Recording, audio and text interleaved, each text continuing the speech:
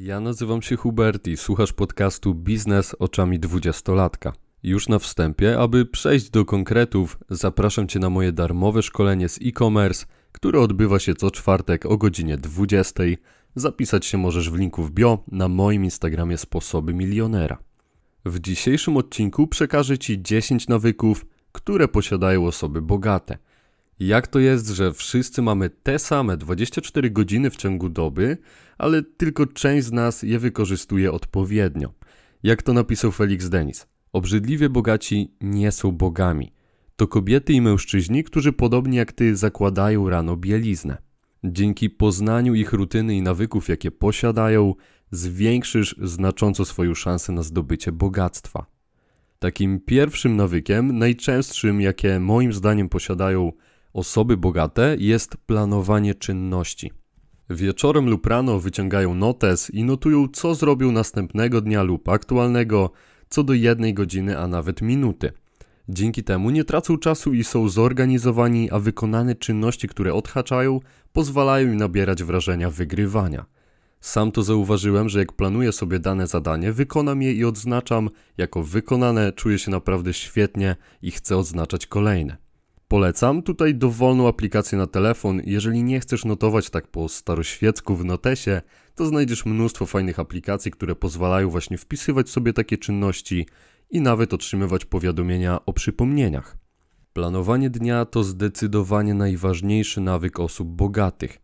Y, tak szczerze nie wyobrażam sobie, że ktoś, kto chce osiągnąć duże cele, nie planuje swojego dnia. Drugim nawykiem osób bogatych jest otaczanie się osobami ambitnymi. Ponoć jesteś średnią pięciu osób, z którymi spędzasz najwięcej swojego czasu. Więc warto otaczać się takimi osobami, które sprawiają, że czujesz się lepiej i jesteś zmotywowany lub zmotywowana. Jeżeli spotykasz się ciągle z osobami, które narzekają, nic nie robią, to również będziesz taką osobą na 99%. Aby nawiązać kontakt z osobami podobnymi do ciebie, a jeśli słuchasz tego podcastu, to zdecydowanie jesteś osobą ambitną, a więc chcesz otaczać się takimi osobami ambitnymi, to znajdziesz je na przykład w zamkniętych grupach różnych kursów danej niszy, otwartych grupach czy nawet na LinkedInie. Już trzecim nawykiem, o którym tobie powiem, będzie wstawanie rano. Ale uwaga, wiem, że to jest taki trochę pochłonięty nawyk coachowymi gadkami, że jak będziesz wstawać rano, to będziesz milionerem i tak dalej. No tak nie jest, bo są osoby bardzo bogate, które wcale nie wstają rano, ale ten nawyk może się okazać strzałem w dziesiątkę w przypadku osób, które są bardziej efektywne właśnie w porannych czynnościach. Ja osobiście jestem taką osobą, a wstawałem przez większość życia w godzinach późnych, bo po prostu o tym nie wiedziałem. Wstawałem mimo to niewyspany, a nawet jeśli byłem pełny energii, no to wstawanie późno wiąże się z tym, że masz mniej tego takiego e, czasu, gdy jest światło dzienne. Pewnego razu zmusiłem się na takie wyzwanie na tydzień, że po prostu postanowiłem cały tydzień wstawać najpierw o godzinie 6.30, a jeśli uda mi się ten tydzień tak wstawać, no to zejdę w następnym tygodniu do godziny 6.00. Na całe szczęście udało mi się, no na początku no nie było e, to łatwe zadanie, ale właśnie w tym rzecz. Jeśli robisz rzeczy, na które nie masz ochoty, masz ogromne predyspozycje do zostania osobą bogatą. Tak naprawdę osoby bogate najczęściej nie mają ochoty na większość rzeczy, które są do zrobienia, ale robią je, bo po prostu trzeba je zrobić. Jeżeli więc będziesz taką osobą, która bez względu czy jej się chce, czy jej się nie chce, będziesz robić trudne rzeczy, między innymi jak właśnie wstawanie rano, czy nawet zimny prysznic, to wyjdziesz z tej całej magicznej strefy komfortu i nabierzesz pewności siebie, która zaowocuje tym, że łatwiej będzie ci zdobyć bogactwo. Wstawanie rano mamy już za sobą, teraz przechodzimy do czwartego nawyku, którym będzie zakochanie się w procesie. I tutaj wszystko sprowadza się do tego, o czym wspominałem przed chwilą, czyli robienia tego, na co niekoniecznie masz ochotę. Nie skupianie się na celu, tylko na procesie. Było to opisywane w bardzo ciekawej książce Atomowe nawyki Jamesa Cleara.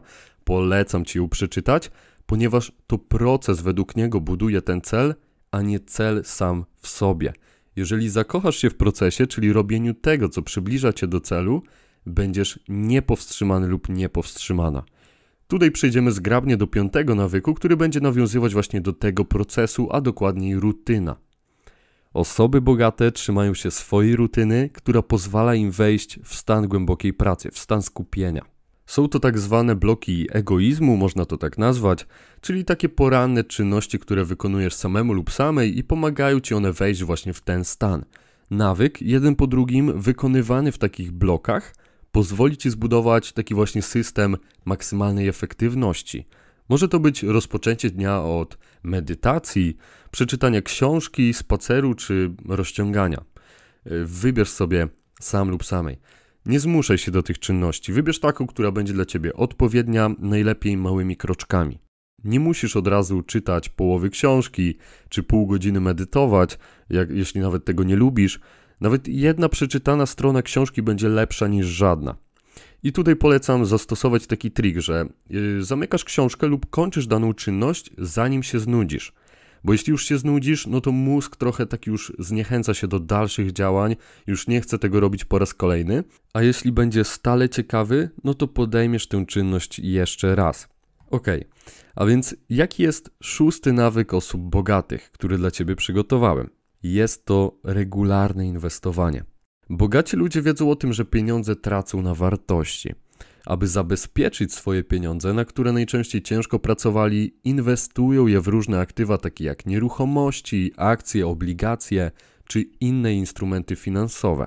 Niedawno miał premierę mój e-book dotyczący właśnie inwestowania, który może Ci pozwolić zacząć skutecznie inwestować kwoty nawet od 100 zł, a możesz go znaleźć na mojej stronie sposobymilionera.pl. Inwestowanie możemy połączyć z nawykiem zarządzania finansami, który jest już siódmym nawykiem, jaki dla Ciebie przygotowałem. Osoby bogate mają ściśle ustalone cele finansowe. Popierają je najczęściej jeszcze swoimi planami, a także regularną analizą swoich wydatków i przychodów. Możesz zacząć od prostego Excela albo nawet notesu, na którym będziesz notować swoje wydatki oraz przychody, a następnie będziesz ustalać dopasowane cele. Osoby, które jeszcze nigdy nie planowały swojego budżetu, mogą nawet nie zdawać sobie sprawy z wysokości ich wydatków.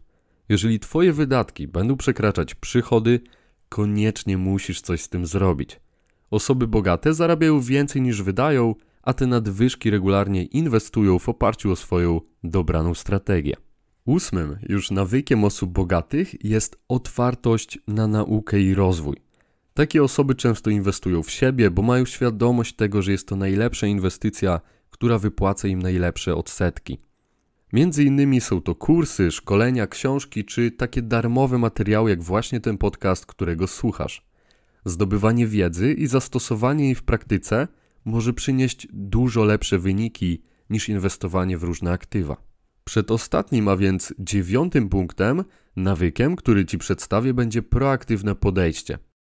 Osoby bogate zwykle nie czekają na okazję, ale tworzą ją sami. Mają proaktywne podejście do życia i podejmują działania, które pomagają im osiągnąć swoje cele. Bardzo często możesz to zauważyć w biznesie. Osoby, które jeszcze nigdy nie posiadały działalności, uważają, że jest to bardzo ciężki proces, a samo posiadanie firmy już, już jest ryzykowne. Osoba, która aspiruje do bycia bogatą, chce zostać osobą bogatą, jeśli tylko ma okazję, buduje biznes i nie czeka na jakąkolwiek zgodę. I dotyczy to się każdej dziedziny. Wyobraź sobie, że Michael Jordan czy ktokolwiek, kto według ciebie osiągnął wielki sukces, czeka na kogoś zgodę. No, wyobraź sobie, nie podejmuje działania, tylko siedzi i przewija TikToka. Przecież to w ogóle nie miałoby sensu. Aby zacząć działanie, celowo nie mówię zmotywować się – bo moim zdaniem nie ma czegoś takiego moty jak motywacja. Znaczy jest dla osób, które są leniwe i potrzebują tej motywacji, aby zacząć, ale najczęściej takie osoby no już odpadają na samym początku, bo motywacja jest chwilowa, a to dyscyplina pozwala na osiąganie sukcesów. Ale dobra, chodzi o to, że w celu zdecydowania się na podjęcie działania, wyobraź sobie, że twoje życie jest takim filmem. Obserwuje cię ciągle kamera, która nagrywa, co aktualnie robisz. I odpowiedz sobie teraz na bardzo ważne pytanie. Czy chciałbyś albo chciałabyś oglądać taki film, który aktualnie tworzysz? Jeżeli odpowiedź brzmi nie, musisz to koniecznie zmienić. Ok, a więc przechodzimy już do ostatniego nawyku, którym będzie dywersyfikacja źródeł dochodu. Polega to na tym, aby nie polegać, polega to na tym, aby nie polegać wyłącznie na jednym źródle dochodu. Można wziąć jako przykład stół, który powinien mieć kilka nóg, aby się stabilnie utrzymać, a nie wyłącznie jedną, która może się w każdej chwili złamać. Więc osoby bogate najczęściej opierają się na kilka modelach, na kilku modelach biznesowych, a więc jeśli jeden biznes się rozkręca, budują kolejny, aby mieć te kilka nóg. Podobnie jak w przypadku inwestycji. Nigdy nie inwestujemy całości majątku w jedno aktywo, no bo byłoby to mocno ryzykowne. I to na tyle.